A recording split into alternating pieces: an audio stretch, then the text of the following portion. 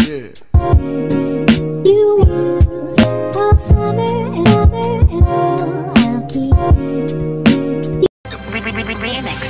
Did you know there is a new student? I heard that he is hot and rich.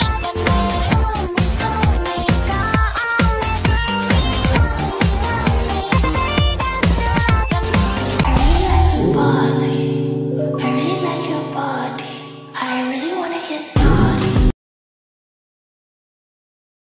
I should have made an excuse to stay home like always.